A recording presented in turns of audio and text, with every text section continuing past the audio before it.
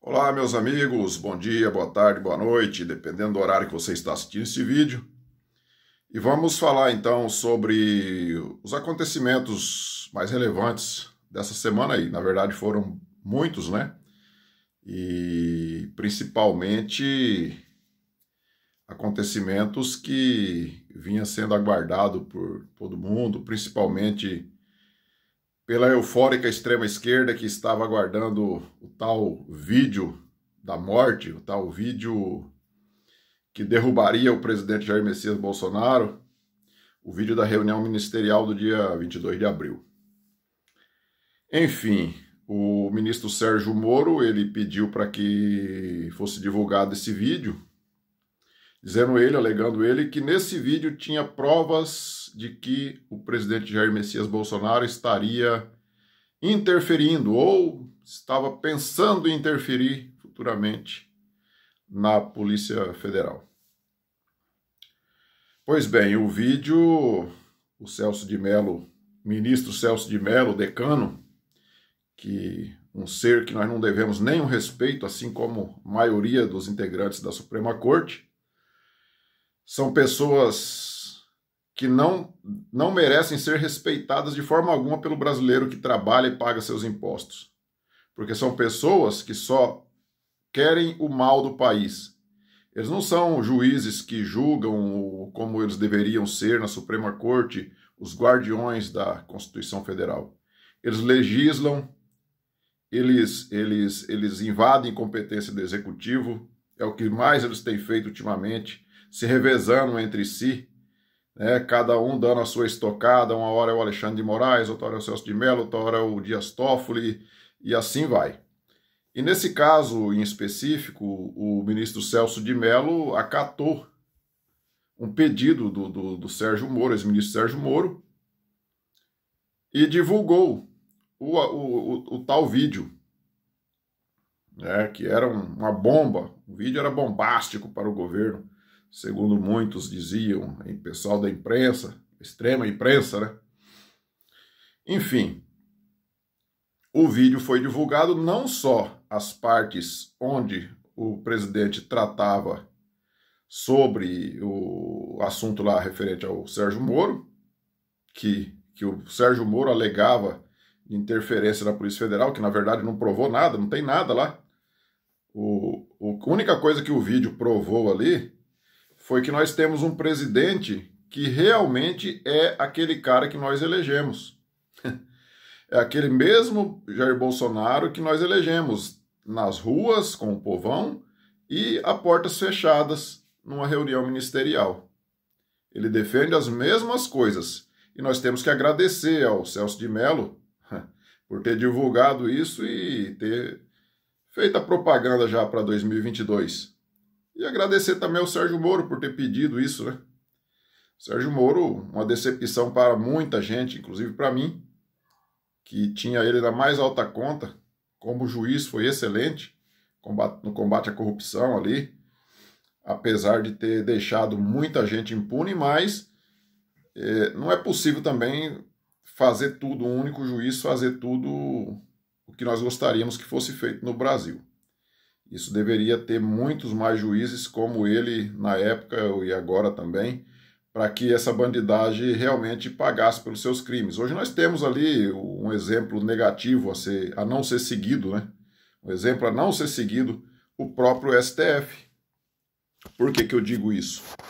Porque nós temos ali um STF que nunca condena ninguém. Muito pelo contrário. O que mais eles fazem é soltar bandidos, né? Soltar bandidos é a especialidade deles. Nós temos um Renan Calheiros que está lá, responde dezenas de processos até hoje, de vários anos, e simplesmente o Supremo senta em cima e simplesmente não, não julga. Por quê? Com certeza o, o Renan Calheiros sabe de coisas ali que se eles condenarem ele, ele pode abrir a boca. Já a doutora Selma Arruda, ex-juíza Selma Arruda, senadora eleita pelo povo de Mato Grosso, né, sem ter cometido nenhum crime, muito pelo contrário, ela apenas teria, segundo as denúncias, teria contratado uma sondagem para fazer uma pesquisa de, de, de, de, intenção de votos dela, se era viável ela ser candidata ao Senado. E aí disseram que essa pesquisa foi feita fora da época e por isso ela foi caçada rapidamente. Menos de um ano de, de mandato, a, a, a, a senadora Selma Arruda perdeu o seu, o seu mandato. Ela foi caçada. E como eu já disse, nós temos lá Renan Calheiro, nós temos lá Collor, nós temos Aécio, nós temos Gleisi Hoffmann, que foi senador e agora, para não perder o foro privilegiado, saiu para foi eleita deputada federal. E entre tantos outros, né, Humberto Costa, nós temos ali José Genuíno, nós temos tanta gente ali que, que nunca foi julgada. E quando é julgado, é absolvido. Mas na maioria das vezes o processo prescrevem lá e, e, e essas pessoas ficam impunes. Mas enfim, vamos falar aqui do, do Celso de Mello com a liberação do vídeo. O Celso de Mello liberou o vídeo na íntegra e todo mundo ali sabia, o Celso de Mello assistiu o vídeo e ele pôde perceber que não tinha nenhuma prova ali contra o presidente Jair Bolsonaro no que se referia ao interesse do inquérito aberto que era a possível interferência na Polícia Federal. Ele viu que não tinha prova nenhuma. Mas por quê? Qual o motivo do Celso de Mello divulgar esse vídeo? E vou, vou mais longe. Qual o motivo do, do, do Sérgio Moro pedir para divulgar aquilo ali, sabendo que não tinha nada que provasse contra o presidente? O Sérgio Moro, infelizmente, está fazendo parte dessa quadrilha que está tentando derrubar o presidente. Sérgio Moro, Sérgio Moro é uma peça importante ali, né, né, né, desse esquema.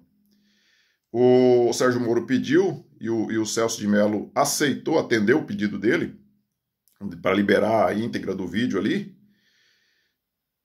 com o único objetivo de causar atrito entre governadores, que o Sérgio Moro sabia que, que havia ali falas contra governadores, contra outros países, inclusive, e contra o próprio Supremo no caso do ministro Abraham Weintraub, que é o ministro da Educação, que falou coisas que nós brasileiros concordamos em 100%, que aqueles bandidos deveriam estar na cadeia. Não é nada de novidade nisso. Todo vai fazer uma pesquisa séria, faz uma pesquisa séria entre a população brasileira para ver quantos por cento que gostaria de ver todos esses bandidos, inclusive ali do STF, alguns deles, na cadeia o que o ministro Abraham Traub disse ali não é nenhum absurdo. É o que a maioria da população brasileira pensa realmente. E aí o vídeo serviu então para mostrar que o presidente Jair Messias Bolsonaro é aquele cara que nós elegemos, é aquele cara que, que quer lutar em defesa do país, que não quer mais esses bandidos nos roubando e que quer Deus acima de tudo, acima de todos, e que quer uh, defender a família, Sim, a família tradicional, sim. Pai, mãe, filhos. É isso mesmo. Não é defender é, é, é, que o Supremo fique legislando lá para criar formas de famílias que não estão previstas na, na, na origem da vida ali, de, que, quando Deus criou o mundo. Não. Sinto muito se você pensa diferente, que você acha que tem que ser feito legislação para privilegiar pessoas que que, que, que são diferentes. Nós não temos que punir ninguém, não temos que prejudicar ninguém por ser diferente, por ser homo, hétero, preto, branco, etc. É como o ministro Weintraub disse lá. Não tem que ser, ah, povo indígena, povo. Não, não, não. É todo mundo brasileiro e todo mundo é ser humano. E tem que ser tratado da mesma forma. Afinal, a própria Constituição fala que a lei é igual para todos. E todos têm que ser tratados da mesma forma. Por que privilégios? Porque o cidadão é homossexual, ou hétero, ou o que for. Não tem que ter privilégio, assim como não tem que ser punição. Agora, se a pessoa cometeu crime contra alguém, ah, ele cometeu um crime porque o rapaz era homofóbico, era, era homossexual, e, e, e a pessoa foi lá e bateu ou matou, etc. Tem que ser punido. Assim como tem que ser punido aquele que vai lá e comete um crime contra um hétero.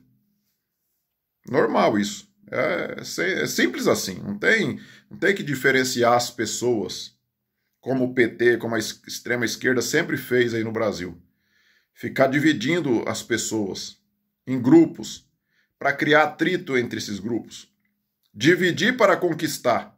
Esse é o lema da extrema esquerda.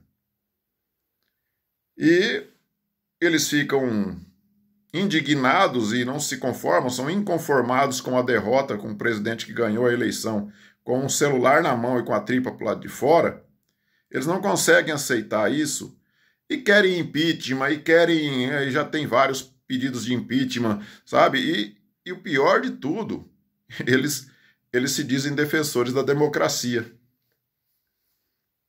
Impressionante, eles se dizem defensores da democracia agindo dessa forma.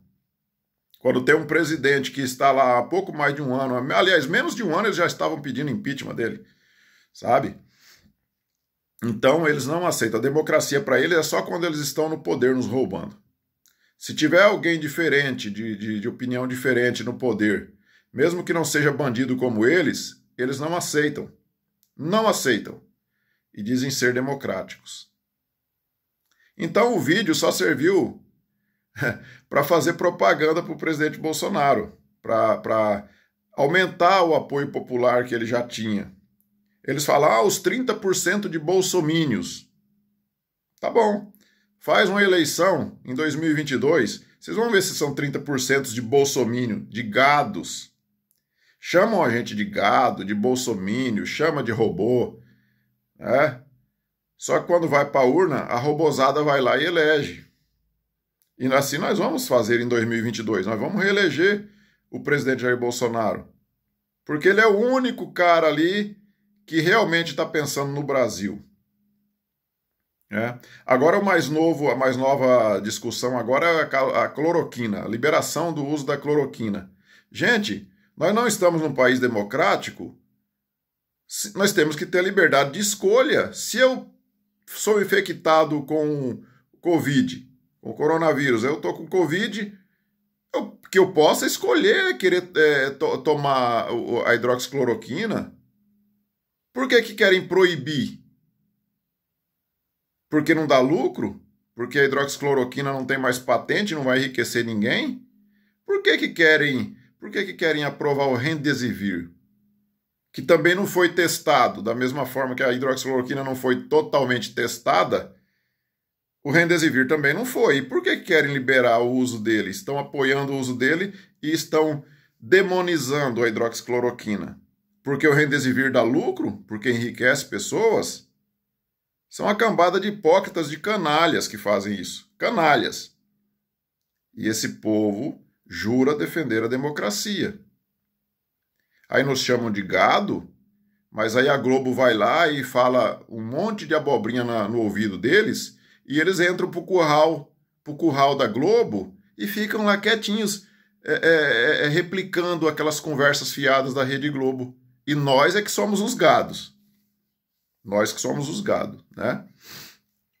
Então, é, a coisa ficou muito fácil agora de saber o lado certo e o lado errado da coisa. É só ver o vídeo lá. Obrigado, Celso de Mello, obrigado, Sérgio Moro, por ter divulgado. É só ver o vídeo que a gente fica fácil de decidir quem é o presidente Jair Messias Bolsonaro de fato. Assista o vídeo e você vai ver. Ah, mas ele fala palavrão. Tá. Você vive assistindo Big Brother e criticando o presidente de falar palavrão a portas fechadas. Tô de olho na sua hipocrisia.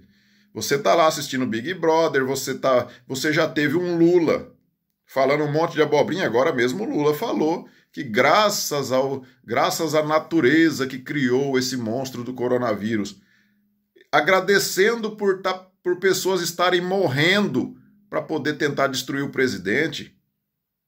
E um cara desse vem falar que é um ser humano, um cara que já foi presidente de um, de um país, Todo mundo sabia que é um crápula, sempre foi um crápula, mas foi presidente.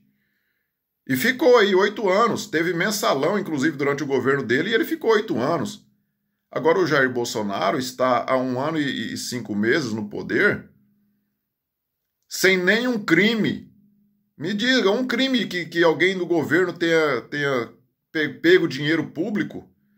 Um crime de corrupção no governo? Não tem. Estão querendo tirar o presidente. Ah, e voltando ao, ao caso da cloroquina, é, eles estão agora falando que tem que obedecer à ciência. Tá. Que ciência? Qual ciência? Porque não existe em ciência nenhuma, existe é, é, unanimidade. Não existe. Você pega 10 cientistas sobre qualquer assunto, vai ter divergência de entendimento entre eles. Por que, que sempre surgem descobertas novas? Porque pessoas não se conformam com aquilo e continuam pesquisando, estudando para descobrir novas, no, novos remédios, no, novos astros no universo, no, no caso da, da, da ciência é, que, que pesquisa sobre isso, sabe? Mas não, eles agora acham que a ciência é, um, é, um, é uma coisa exata. É exata, ela não tem, ela não tem divergências. Ela não tem divergências. Eu já vi médicos falando que ovo faz mal, que aumenta colesterol. E já vi médicos dizendo que ovo é um excelente alimento. Depois do leite materno, depois do é o, o, ovo é, é, o, é o, o alimento melhor que tem depois do leite materno. Já vi médico falando isso. E quem nunca viu médicos falando que ovo faz mal, que aumenta o colesterol? Agora vem falar que a hidroxicloroquina, que sempre foi tomada, que sempre foi usada para combate de malária, de lupus e outras coisas mais, artrite, etc., que sempre foi usada e nunca teve nenhuma mortandade, agora virou veneno. Um remédio que era vendido aqui na farmácia sem receita médica, baratinho, um real um comprimido, Agora ele virou veneno. Por quê? Porque o presidente Jair Messias Bolsonaro e pessoas como o Trump, pessoas de direita defendem o uso. O Trump está até usando.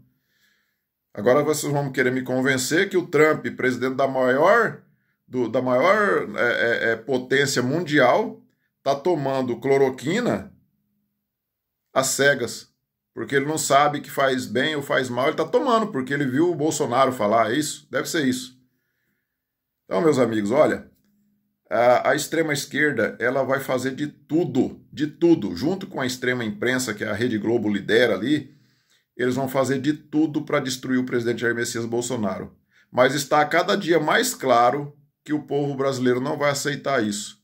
Que o povo brasileiro está apoiando cada dia mais o presidente, o presidente mais honesto, aliás, o único presidente honesto que nós conhecemos nesse país. Um presidente que não rouba, não deixa roubar, porque nós não temos notícias de, de, de, de, corrupção no governo, vai me dizer que esse tanto de gente, esse tanto de oposição, esse tanto de imprensa em cima ali, se tivesse corrupção, eles não, não teriam descoberto. Aí vai chegar um idiota e ainda falar, ah, é porque ele está escondendo, não está investigando. Tá. Com esse monte de repórter em cima ali, doido para derrubar o cara, o presidente ia conseguir fazer atos de corrupção escondido. Por outro lado, os bilhões que estão sendo liberados para governos e prefeitos, para estados e municípios, para combate ao coronavírus, estão sendo embolsados. Vários atos de corrupção já foram notificados. Já teve gente presa no Rio de Janeiro e vai ter muito mais. Inclusive, o governador do Rio de Janeiro vai acabar indo para cadeia. O de São Paulo também, lá no Pará, Santa Catarina. Vários, vários lugares já tiveram casos de compras de respiradores superfaturados. A corrupção está rolando solta ali. Mas a culpa das mortes é só do presidente, que foi proibido pelo STF de tomar qualquer decisão sobre o assunto. Para ver a que nível que chega a hipocrisia dessa gente. Mas eu vou ficando por aqui, meus amigos. Um bom domingo a todos e uma boa semana. Aproveitem, dê o joinha aí, o like, o seu dislike, como diz o Alexandre Garcia. Se você não gostar, pode dar o seu dislike. Aqui é democracia. E que tenham todos uma boa semana na presença do Senhor Deus. Falou? Abraço a todos.